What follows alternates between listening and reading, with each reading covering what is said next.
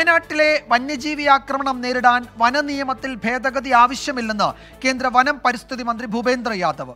ജീവന് പരിരക്ഷ നൽകണമെന്നതാണ് സർക്കാർ നയം. കേരള കർണാടക തമിഴ്നാട് സംസ്ഥാനങ്ങൾ സംയുക്തമായി ആനത്താരകൾ അടയാളപ്പെടുത്തും. ഇരകൾക്ക് നൽകുന്ന നഷ്ടപരിഹാര തുകയിൽ പത്ത് ലക്ഷം കേന്ദ്ര വിഹിതമാണെന്നും സംസ്ഥാനത്തിന് വേണമെങ്കിൽ കൂട്ടിച്ചേർക്കാമെന്നും കേന്ദ്രമന്ത്രി വ്യക്തമാക്കി. We take some concrete action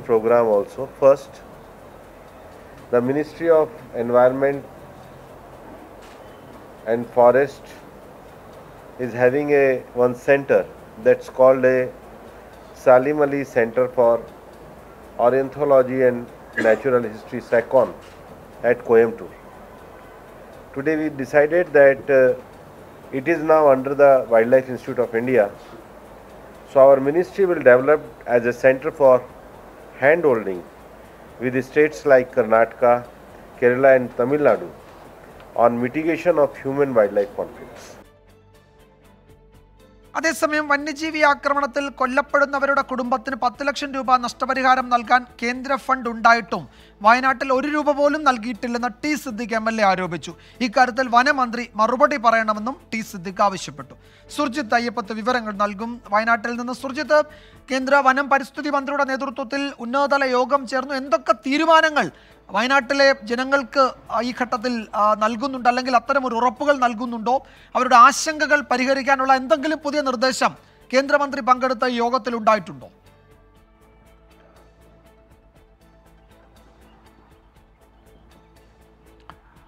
പുതിയ നിർദ്ദേശങ്ങൾ എന്നുള്ള തരത്തിലൊന്നും ഉണ്ടായിട്ടില്ല. ഈ ആനത്താരകൾ ഉൾപ്പെടെയുള്ള കാര്യങ്ങളിൽ ഈ ചില പ്രഖ്യാപനങ്ങൾ ഉണ്ടായിട്ടുണ്ട്. അത് ഒഴിച്ചിൽ പുതിയ പ്രഖ്യാപനങ്ങളൊന്നും ഉണ്ടായിട്ടില്ല. ഇവിടുത്തെ മനുഷ്യ വന്യജീവി സംഘർഷം ഇത്ര രൂക്ഷമാണ് എന്നുള്ള അത് ഗൗരവത്തോടു കൂടി തന്നെ കേന്ദ്ര സർക്കാർ പരിഗണിക്കുമെന്നു എന്നുള്ളതാണ് ഭൂപേന്ദർ യാദവ് പറഞ്ഞിട്ടുള്ളത്. ഈ മനുഷ്യന് പരിരക്ഷ നൽകണം. മനുഷ്യനായാലും മൃഗമായാലും അതിന് തുല്യ രീതിയിലുള്ള പ്രാധാന്യമാണ് ഉള്ളത്. ഈ മനുഷ്യ മൃഗസംഘർഷം പഠിക്കാനും സംസ്ഥാന സഹകരണം സഹകരണം ഉറപ്പാക്കാനും കോയമ്പത്തൂരിലെ സലിമലി ഇൻസ്റ്റിറ്റ്യൂട്ടിന് ചുമതല നൽകും. അതോടൊപ്പം തന്നെ ഈ അപകടകാരികളായ വന്യമൃഗങ്ങളെക്കുറിച്ച് കൃത്യമായ മുന്നറിയിപ്പ് നൽകാൻ സംവിധാനം ഉണ്ടാക്കും. ഒപ്പം കേരള കർണാടക തമിഴ്നാട് സംസ്ഥാനങ്ങൾ ഒരുമിച്ച് ആനത്താരകൾ അടയാളപ്പെടുത്താനുള്ള നടപടിയിലേക്ക് കടക്കും. അത്തരം പ്രഖ്യാപനങ്ങളാണ് അദ്ദേഹം നടത്തിയത്. മാത്രമല്ല ഈ ക്ഷുദ്രജീവികളെ വെടിവെച്ച് കൊല്ലാൻ അതായത് മനുഷ്യന്റെ ജീവന് അപായം ഉണ്ടാക്കുന്ന ക്ഷുദ്രജീവികളെ വെടിവെച്ച് കൊല്ലാനുള്ള നടപടിക്ക് അതിൽ സംസ്ഥാനത്തിന് അധികാരമുണ്ട്. ചീഫ് വൈൽഡ് ലൈഫ് ഫാഡിനെ അത് നിർവഹിക്കാവുന്നതാണ്. ഒരു ഫോൺ കോൾ മാത്രം മതി. അതിനപ്പുറത്തേക്ക് അവർക്ക് നടപടിയെടുക്കാം. ഒരു അറിയിപ്പ് കേന്ദ്രത്തെ മാത്രം അറിയിച്ചാൽ മതി. അതിനപ്പുറത്തേക്ക് അവർക്ക് ഉചിതമായ തീരുമാനം കൈക്കൊള്ളാം എന്നുൾപ്പെടെയുള്ള കാര്യങ്ങൾ അദ്ദേഹം പറയുന്നുണ്ട്. അതോടൊപ്പം തന്നെ ഇതുമായി ബന്ധപ്പെട്ട് ഈ ഫണ്ടുമായി ബന്ധപ്പെട്ട ചില അവ്യക്തതകൾ നൽകുന്നുണ്ട്. കാരണം ഈ മരിച്ചവരുടെ കുടുംബങ്ങൾക്കുള്ള ധനസഹായം പത്ത് ലക്ഷം രൂപ നൽകുന്നുണ്ട്. അത് കേന്ദ്രം കേന്ദ്രവും ഈ തുക തുക സംസ്ഥാനത്തിന് ഇതിനുവേണ്ടി നൽകുന്നുണ്ട് എന്നാണ് മന്ത്രി പറഞ്ഞത്. ഇക്കാര്യത്തിൽ അവ്യക്തത നിലനിൽക്കുന്നുണ്ട്. ഈ വന്യമൃഗ ആക്രമണത്തിൽ കൊല്ലപ്പെട്ടവർക്ക് പത്ത് ലക്ഷം രൂപ കേന്ദ്ര ഫണ്ട് ഉണ്ട് എന്നുള്ളതാണ് മന്ത്രി പറയുന്നത്. ഒരു രൂപ പോലും ഈ തുക വയനാട്ടിൽ നൽകിയിട്ടില്ല എന്നുള്ള പ്രതിപക്ഷ എം എൽ എ ആയിട്ടുള്ള ടി സിദ്ദിഖ് ആരോപിച്ചു. വനം വനമന്ത്രി ഇക്കാര്യത്തിൽ വ്യക്തത വരുത്തണം. മറുപടി പറയണം. ഈ തുക നൽകാൻ കേന്ദ്ര ഫണ്ട് പത്ത് ലക്ഷം അനുവദിക്കുന്നുണ്ടെങ്കിൽ അത് നൽകാൻ തയ്യാറാവണം എന്ന ആവശ്യം കൂടി അദ്ദേഹം ഉന്നയിക്കുന്നുണ്ട്. മാത്രമല്ല ഈ കേന്ദ്ര നിയമത്തിലെ ഭേദഗതി സംബന്ധിച്ച് വനം മന്ത്രി മൗനം ആണ് സ്വീകരിക്കുന്നത് എന്നുള്ള വിഷയം കൂടി പ്രതിപക്ഷ എം എൽ എമാർ ചൂണ്ടിക്കാട്ടുന്നുണ്ട്. ഈ അതോടൊപ്പം തന്നെ ഈ സംസ്ഥാന ഫണ്ടാണ് ഈ പത്ത് ലക്ഷം രൂപയായി നൽകുന്നത് എന്നുള്ള കാര്യമാണ് ഈ ഉദ്യോഗസ്ഥർ യോഗത്തിൽ പറഞ്ഞത്. അങ്ങനെയെങ്കിൽ കേന്ദ്ര ഫണ്ടായ പത്ത് ലക്ഷം എന്തുകൊണ്ട് നൽകുന്നില്ല എന്നുള്ള ചോദ്യം ഐ സി ബാലകൃഷ്ണനും ഉന്നയിച്ചു. എന്തായാലും ഈ തുക നൽകാൻ പത്ത് ലക്ഷം രൂപയുണ്ടെങ്കിൽ ഈ തുക മുൻകാല പ്രാബല്യത്തിൽ തന്നെ ഈ തുക കൂടി നൽകാനുള്ള നടപടി മരിച്ചവരുടെ കുടുംബങ്ങൾക്ക് നൽകാനുള്ള നടപടി സംസ്ഥാനം സ്വീകരിക്കണം തുടങ്ങിയ ആവശ്യങ്ങൾ ഉന്നയിച്ചിട്ടുണ്ട്. എന്തായാലും ഇന്നലെ മുതൽ തുടങ്ങിയ സന്ദർശനമാണ് കേന്ദ്ര വനമന്ത്രിയുടേത്.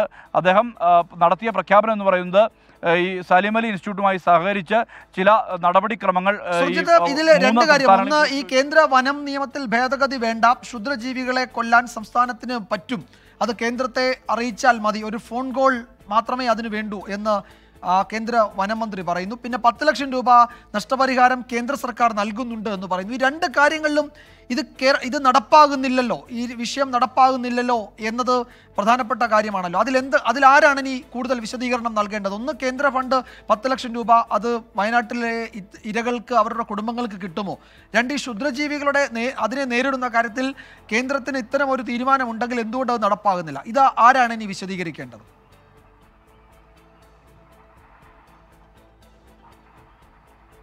സംസ്ഥാന വനംവകുപ്പ് മന്ത്രി തന്നെയാണ് ഇക്കാര്യത്തിൽ ഒരു വ്യക്തത വരുത്തേണ്ടത്. അദ്ദേഹം പറയുന്നത് ഇത് കേന്ദ്രം അനുവദിക്കുന്നില്ല. അതായത് ഇങ്ങനെ വെടിവെച്ച് കൊല്ലാനുള്ള നടപടിയിലേക്ക് കേന്ദ്രം അനുവദിക്കുന്നില്ല എന്നുള്ള തരത്തിലുള്ള രീതിയിലുള്ള പ്രതികരണമാണ് വനമന്ത്രിയുടെ ഭാഗത്തു നിന്നുണ്ടായത് സ്വാഭാവികമായും കേന്ദ്രമന്ത്രി പറയുന്നു ഇങ്ങനെ മനുഷ്യന് ഹാനിയായ ക്ഷുദ്രജീവികളെ വെടിവെച്ച് കൊല്ലാനുള്ള അനുമതി ഈ സംസ്ഥാന വനം വനംവകുപ്പ് മേധാവിക്കുണ്ട്. അനുമതി നൽകാനുള്ള വനം വകുപ്പ് മേധാവിക്ക് അത് നിയമം തന്നെ അനുശാസിക്കുന്നുണ്ട്. എഴുപത്തിരണ്ടിലെ നിയമത്തിൽ അത് കൃത്യമായി തന്നെ പറയുന്നുണ്ട് എന്നുള്ളതാണ് കേന്ദ്രമന്ത്രി പറയുന്നത്. അത്തരം നടപടികൾ അത് എടുക്കേണ്ട സംസ്ഥാനത്തിന് തന്നെ അധികാരമുണ്ട്. പക്ഷേ ചില ചില കാര്യങ്ങളിൽ ഒരു ഫോൺ കോളിന്റെ ബലം മാത്രം മതി എന്നുള്ള ഉൾപ്പെടെയുള്ള വിശദീകരണം കൂടി വനമന്ത്രിക്കൊപ്പം ഈ കേന്ദ്ര വനമന്ത്രിക്കൊപ്പം ഉണ്ടായിരുന്ന ഉദ്യോഗസ്ഥരും വ്യക്തമാക്കുന്നുണ്ട്. ഫോറസ്റ്റ് ഡയറക്ടർ തന്നെ ഇതുമായി ബന്ധപ്പെട്ട് വ്യക്തത വരുത്തുന്നുണ്ട്.